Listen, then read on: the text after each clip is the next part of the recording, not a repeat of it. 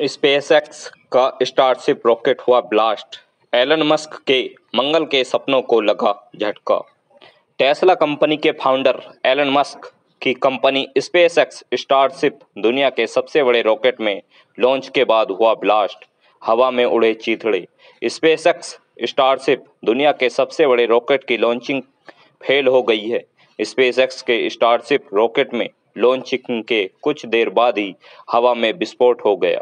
Elon Musk की space research company SpaceX Starship rocket launch के कुछ देर बाद ही ब्लास्ट हो गया। स्टारशिप रॉकेट के हवा में ही चीथड़े उड़ गए। यह इस रॉकेट के लॉन्च का पहला प्रयास था। कंपनी के एक अधिकारी ने कहा है कि स्टारशिप के साथ वह हुआ है, जिसे वह रैपिड अनप्लान असेंबली कहते हैं। तीन दिन पहले भी स्टारशिप रॉकेट की लॉन्चिंग शेड्यूल की गई थी। हालाँकि कुछ तकनीकी कारणों की वजह से लॉन्चिंग को गुरुवार के लिए शेड्यूल किया गया था। गुरुवार शाम को जैसे ही स्पेसएक्स ने इस रॉकेट को लॉन्च किया, शुरुआत में तो सब ठीक लग रहा था, लेकिन ऑर्बिट में जाने से पहले ही रॉकेट में ज़बरदस्त ब्लास्ट हो गया। इस ब्लास्ट की वजह से रॉकेट हवा में ही धुआँ धुआँ होकर जल गया। घटना के वीडियो भी सामने आ रहे हैं। जिसमें साफ़ दिख रहा है कि लॉन्चिंग के बाद यह रॉकेट ज़मीन से बहुत ऊंचाई पर पहुँच चुका था, लेकिन अचानक ही इसमें विस्फोट हुआ। यह स्पेसएक्स कंपनी के लिए बड़ा झटका है, क्योंकि कंपनी को इस रॉकेट से काफ़ी उम्मीदें थी। इस घटना पर एलन मस्क ने ट्वीट करके टीम के लिए अपना सपोर्ट दिखाया है। मस्क ने ट्वीट में कहा है कि इस लॉन्च से उनकी टीम ने अगले कुछ महीनों में होने वाले एक और लॉन्च के लिए बहुत सी चीज़ें सीखी हैं। स्टारशिप पर थी पूरी दुनिया की नज़र। रॉकेट के बारे में स्पेसएक्स ने जानकारी शेयर की थी।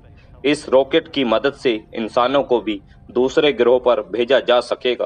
कंपनी ने बताया था कि एलन मस्क सन दो तक इंसानों को अंतरिक्ष में भेजना चाहते हैं और वहाँ पर इंसानों के रहने के इंतज़ाम भी करना चाहते हैं। स्टारशिप को इसी ऑपरेशन के लिए तैयार किया गया था। बता दें कि यह दुनिया का अब तक का सबसे बड़ा रॉकेट था। इसकी ऊंचाई तीन सौ फीट, यानी 120 मीटर थी। हाल ही में नासा ने भी सन 2025 तक अंतरिक्ष यात्रियों को अंतरिक्ष में भेजने की बात कही थी। नासा ने भी अंतरिक्ष में वैज्ञानिकों को भेजने के लिए इसी स्टारशिप को चुना है।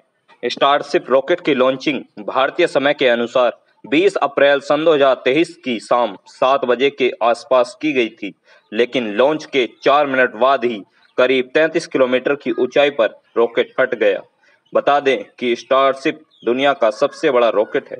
इसकी ऊंचाई तीन फीट और यह रॉकेट दो हिस्सों में बटा है, ऊपर वाला हिस्सा जिसे स्टारशिप कहते हैं, यह अंतरिक्ष में यात्रियों को लेकर मंगल तक जाएगा। इसी की ऊंचाई एक फीट है। इसके अंदर 1200 टन ईंधन आता है। कहते हैं कि यह रॉकेट इतना तेज है कि पृथ्वी पर एक कोने से दूसरे कोने तक जाने में केवल एक घंटा का समय लगाएगा।